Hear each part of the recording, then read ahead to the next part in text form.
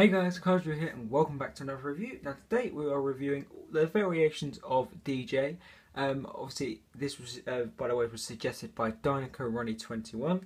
Um, obviously he just said DJ, but on these sort of videos I might as well do all of them.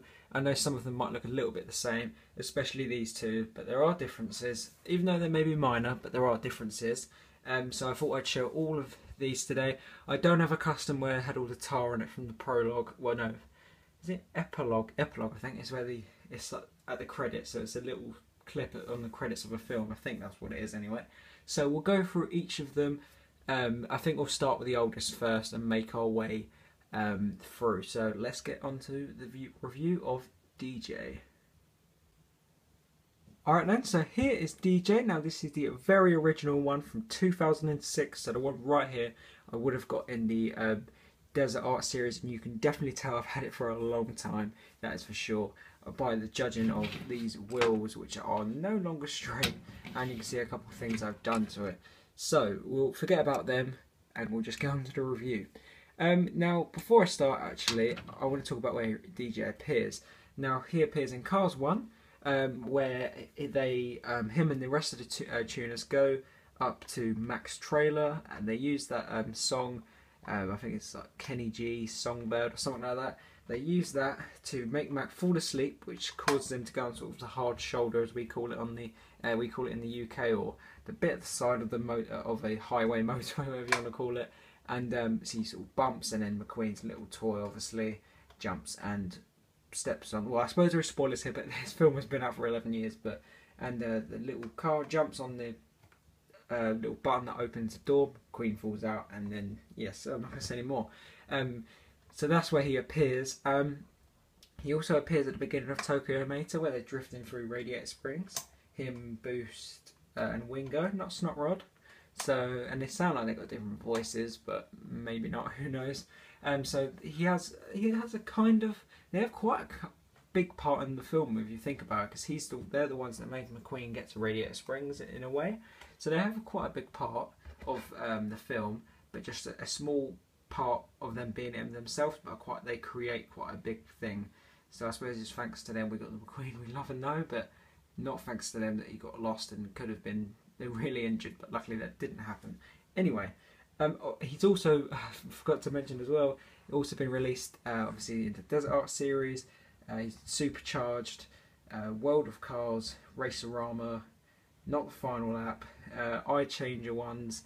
He's been released lots of times in the double packs, with no free packs, multi packs, all them kind of eh, different packs. You know, he's probably been released in at least one. Anyway, let's start with this actual review. So, first off, we have this sort of splitter here, sort of tuner splitter. You could say these cars are racers, but back in 2006, people probably thought these customizations were the best. Uh, we do have these two big lights here as well. Uh, by the looks, a little bonnet scoop by the looks of it. We have this sort of. I, I know Wingo had sunglasses. I don't know if DJ has. These are sunglasses as well? He has these purple eyes there as well. Uh, he has three. Um, yeah, he has three uh, mirrors, I think, one, the middle one, and another one, so that's three. Uh, on the side here, we have the wheels. I did put uh, paint a little red dot in the middle to spice it up a bit. This was a long time ago. He has his blue bolts, which is incorrect. Little window there. The sound sort of bars, which I wish were filled in. Uh, his speakers and his wing there, which also doesn't have the uh, lightning bolt, sort of, not lightning bolt, the bolt on it. Same wheels again. On the back I've coloured in the little dial for and the exhaust or painted them. And I think, uh, by the way, my, this is my dad who's done this, not me. I was too young at the time, but my dad might have uh, touched up the paint on the lights as well, but they chipped off again. We have as many speakers here. The speakers here, the bit that chooses what song it is or what CD or whatever. His spoiler, which is very bendy now. Well, not bendy, but bent because it's so old. Uh, we have the same on the other side here. As we go on to the base, we have Disney Pixar's. It's Thailand. Yeah, this is a Thailand car. If you watched my live stream yesterday, we had a little talk about them and how if you got it before, I think it might have been 2009, 2008. They were made in uh, Thailand before China. So you can see there's exhausts that go into there as well. So these exhausts are kind of fake little tips because they're all skinny until they're But yeah, we literally have Disney Pixar Thailand. This is how old this is. They, they did have a thing there, but no other codes. So that does explain how old this DJ actually is. Alright then, so I'm going to sort of show you this DJ next. You may be thinking what is different, but if you look here, the eyes are actually different. This one, as well as having the sunglasses, which is tilted, not straight, has his actual, uh, sort of, um, what's it called? His, he actually has his actual, oh my god, I can't think of what the name is. Eyelid, that's it. Whereas this one, it does not, just have sunglasses. So this one, in my opinion, looks better, but this one does have uh, there. Obviously, this is a better quality version. You can see what it properly looks like. This is less damaged, less ruined. Um, so that is that one there. They, it's not a big change from the original uh, actual DJ. Okay, so now we're on to the next one that they would have released at the time, which would have been um, DJ with Clamp or Parking Boot. I just like to call them Clamp. They would they came out about 2009 in the Race-O-Rama series. He has the now corrected lightning bolts there. He still he has his sunglasses still. I think that one is a bit of an error on mine how it's not exactly level because here it's level when you have his eyes of eyelid as well. Uh, we have, yeah, with the green lightning bolts there now, not blue because they're not meant to be blue. They didn't even have it on the hood of the original. It's clamped there, which is way too small for his rim which is quite funny.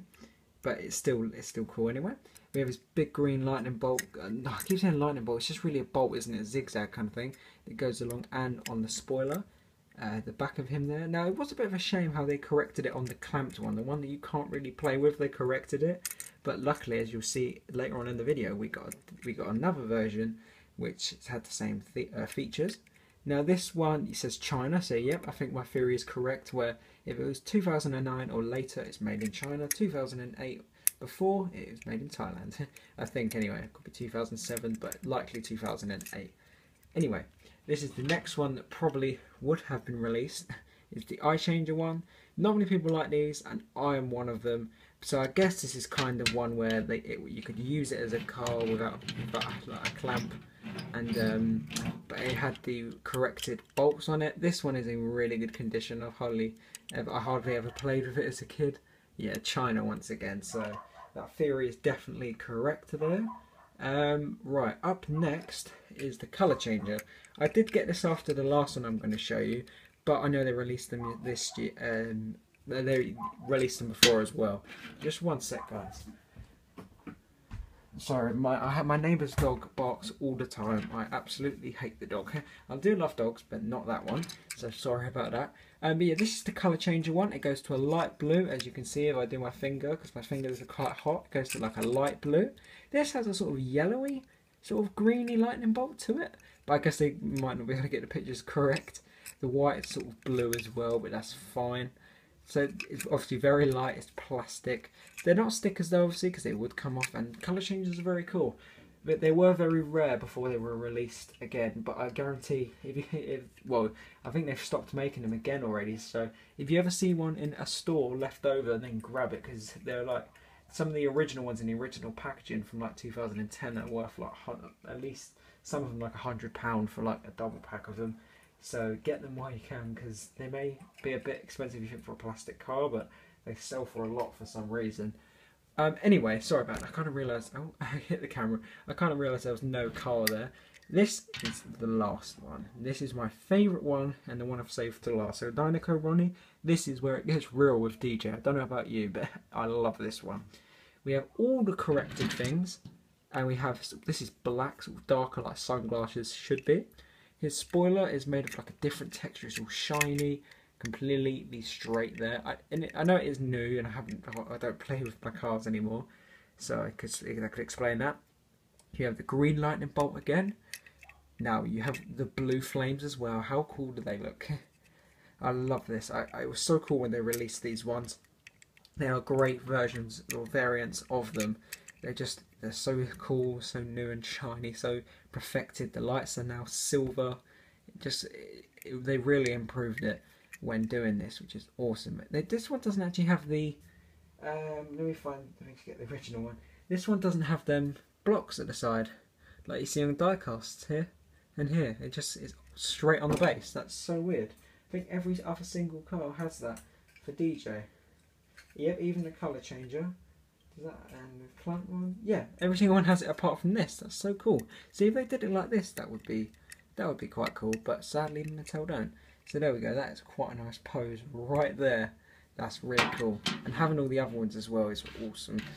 Maybe if someone's, I mean, I have kind of rev reviewed Boost, but if you want to suggest Boost, you can, because I haven't done the variants of them. But yeah, maybe if I do Wingo and Snotrod and Boost, I get one day, I'll you guys will get to see them with. um I'm trying not to get them roll. You see them with flames.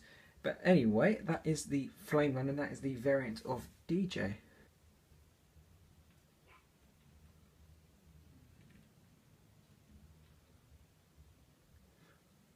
Alright then guys, thank you for watching this video on the variants of DJ. Dinoco Ronnie, I hope you enjoyed this review. I hope it lived up to what you thought it was going to be. And I hope you're having a great day. I know it's, I don't think it's your birthday anyway, but I hope you're having a great day nonetheless. And I hope that you enjoyed this review. So no, anyway, that uh, with that saying, um, thank you guys for watching this video. Make sure to like, subscribe, um, turn on the post notification bell so you never miss a review or stream. And as always, I'll see you in the next review guys.